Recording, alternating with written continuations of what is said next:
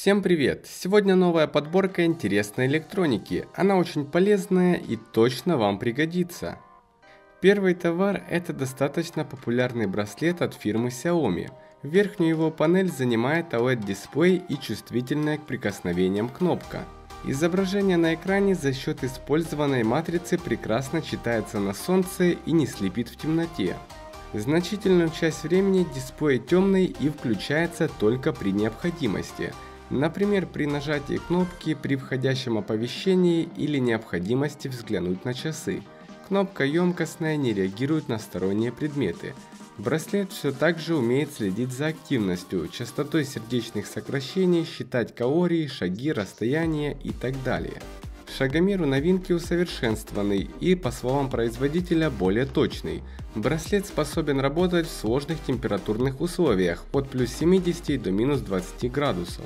В случае переохлаждения время автономной работы сокращается до 128 часов. Xiaomi Mi Band 2 способен выдержать падение на твердую поверхность с высоты 1,2 метра. Цена 1470 рублей. Умное зарядное устройство от фирмы Opus. Оно предназначено для различных типов аккумуляторных батарей.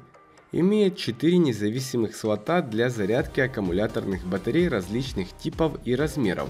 Также устройство включает в себя обнаружение перегрева для защиты аккумуляторных батарей. Зарядка предназначена для таких батарей типа 2А, 3А, 18650, 14500, 16340, 10440, а также совместима с 10340 и так далее. Цена 1590 рублей. Xiaomi Mi Max 2. Диагональ дисплея 6,44 дюйма его разрешение 1920 на 1080 пикселей. Детализация здесь хорошая 342 ppi, разглядеть отдельные пиксели на экране очень сложно. Snapdragon 625 это процессор, который используется здесь, и хоть он менее мощный, чем Snapdragon 650, который используется в прошлой версии, но по некоторым важным показателям он все-таки лучше. При своих 210 граммах веса эта махина не кажется тяжелой, тем более, что в корпус вместили и огромный аккумулятор, и стереодинамик, и инфракрасный порт для управления бытовой техникой. А также есть гибридный слот, который заставляет выбирать между двумя сим-картами или одной microSD флешкой. В качестве основной камеры в Xiaomi используется сенсор от Sony IMX386. Этот сенсор активно используется компанией Xiaomi и установлен на многих новых смартфонах. Mi Max 2 это смартфон с самым большим аккумулятором в компании. Его емкость 5300 мАч. В совокупности с высокой энергоэффективностью процессора он показывает потрясающие результаты. Смартфон спокойно держится более двух суток, а при умеренном использовании может продержаться даже больше. Цена 12 940 рублей. Nitecore P36 – это замечательный фонарик – Максимальная его мощность до 2000 люмен, при времени работы до 325 часов на одном заряде. Фонарик имеет 10 уровней яркости и 5 специальных режимов для различных возможностей использования. Также он имеет высокую эффективность сборки схемы, что обеспечивает надежность. Металлический ободок из нержавеющей стали защищает основные компоненты от повреждений. Фонарик водонепроницаемый в соответствии с IPX8 и ударопрочный при падении до 1,5 метра. В нем используются аккумуляторные батареи типа 18650. Цена фонарика 3530 рублей. Спортивные наушники QY7S использует Bluetooth версии 4.1 и способны связываться с вашим мобильником на расстоянии до 10 метров. В этих наушниках используется литионный аккумулятор на 85 мАч. При таком заряде наушники могут проигрывать музыку до 4,5 часов подряд. При этом, чтобы полностью зарядить аккумулятор, необходимо всего полтора часа. Без работы они держат заряд до 100 часов, цена 410 рублей.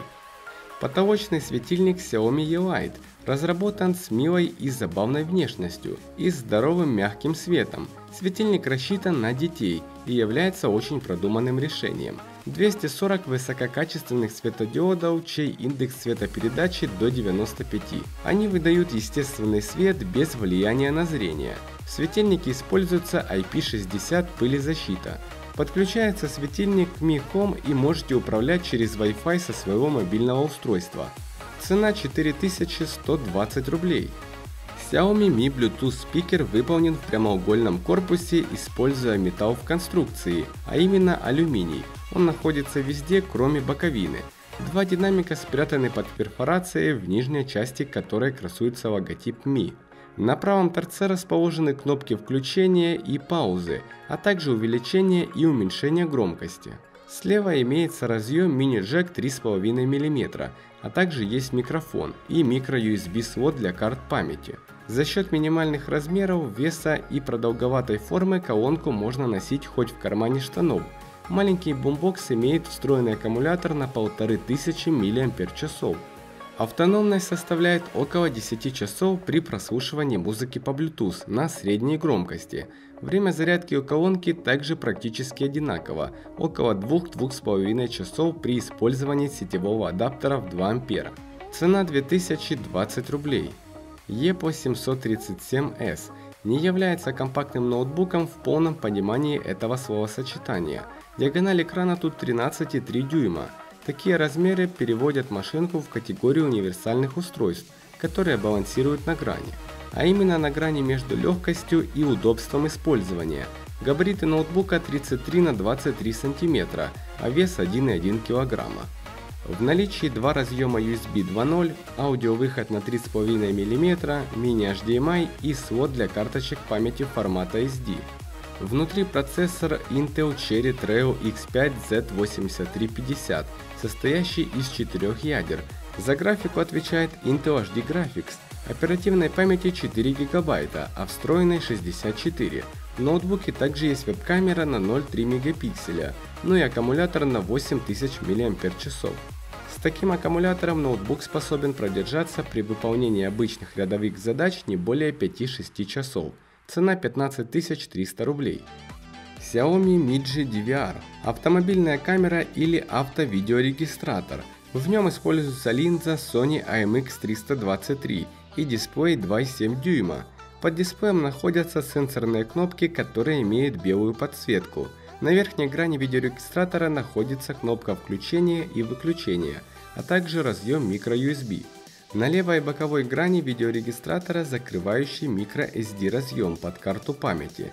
Видеорегистратор использует аккумулятор на 240 мАч и записывает видео в качестве 1080p 30 кадров в секунду. При всем этом он имеет очень маленькие размеры, цена 2700 рублей. Карта памяти microSD от компании Samsung. Это карта памяти 10 класса на 128 гигабайт и используется во многих устройствах. Главное помнить, что в некоторых устройствах есть верхний предел для емкости карты памяти, то это конечно же при покупке нужно учитывать. Цена 2680 рублей. А теперь конкурс. По традиции разыграем 200 рублей на счет мобильного или же киви кошелька. Условия поставить лайк, написать комментарий и быть подписанным на мой канал. Результаты через неделю в группе ВК и на моем втором YouTube канале. Ссылки будут в описании.